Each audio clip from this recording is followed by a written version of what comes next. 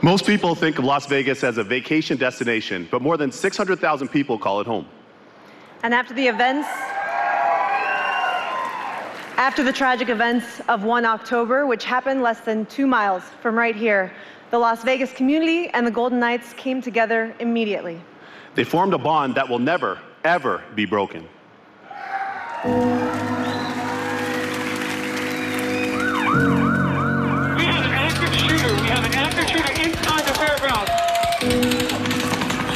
to you with breaking news out of Las Vegas, where we have reports of multiple people shot during a harvest festival on the Las Vegas Strip. We have multiple casualties. GSW with a medical check. Multiple casualties. Well, I knew there was guys at the strip having dinner. First thought is, are they okay? I was in, in bed and we, we got woke up and um, at that time I think there was uh, they were saying two dead and some injured. To wake up the next morning and see it's a horrifying event that uh, you never want to be anywhere part of that. We are looking at an excess of 50 individuals dead and over 200 individuals injured. That was an awful night. Uh, we lost a lot of people. Um, for some people, it's over. It'll never be over here. October 1 was a tough time for the city, and it was hard for everybody. And we didn't know where we fit in with that. Guys on the team that have been here for a few weeks were texting, what can we do? How can we help? Right now, we're at uh, one of the blood donation centers. We're just here thanking people for donating their blood for the victims. Our team responded. The players went out and went to fire stations, police stations. We went out to uh, blood drives. We did uh, went and saw first responders. We saw victims of the events. Just that you guys are showing up and showing your support for our city and the people that were killed just means so much. The Vegas Golden Knights set to play their first regular season home game. Really, in a lot of ways, the game didn't matter. The ceremony did. Deryk Engelland went to the organization and said, I want to talk uh, the night of, of the opener. You know, for three or four days, that's all. All that was going through my head was uh, what I had to say. Like all of you, I'm proud to call Las Vegas home. To all the brave first responders that have worked timelessly and courageously throughout this whole tragedy, we thank you. To the families and friends of the victims, know that we'll do everything we can to help you and our city heal. We are Vegas strong.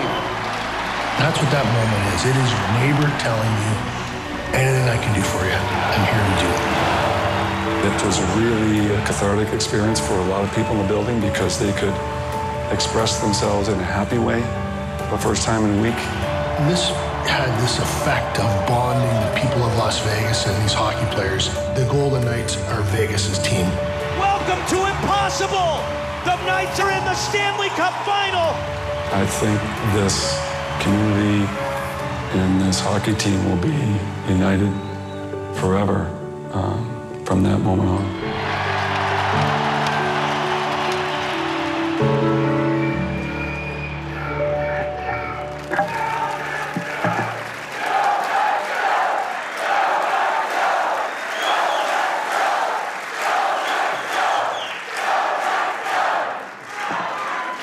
Please welcome to the stage some very special heroes, the first responders. From the Las Vegas Metro Police Department, Captain Jean Pelletier, Officer Rafael Pena, Firefighter Ben Cole, and the head trauma surgeon, Dr. Paul Cheskovich. And survivors, Riley Golgart, Lori and Rodney Hosak, and UNLV assistant hockey coach Nick Robone.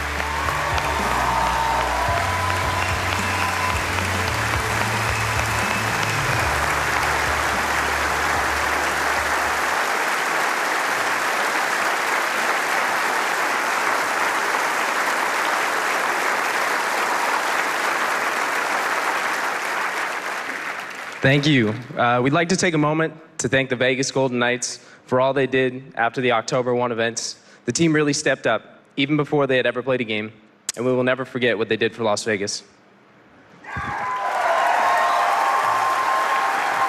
And now, from your Vegas Golden Knights, Deryk Engelland, William Karlsson, Gerard Gallant, and GM George McPhee.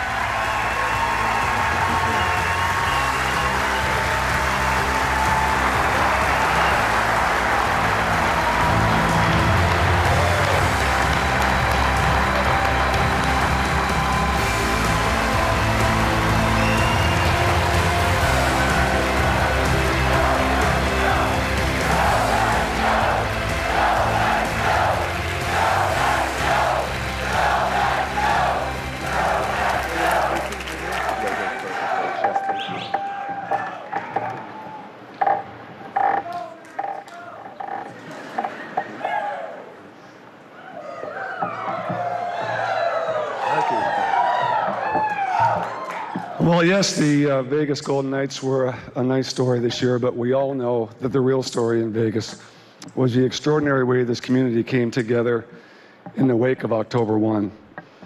Uh, this Vegas Golden Knights team uh, and this uh, Vegas born team is proud to help, will always help, and we will, as a community, always be Vegas strong. Thank you very much.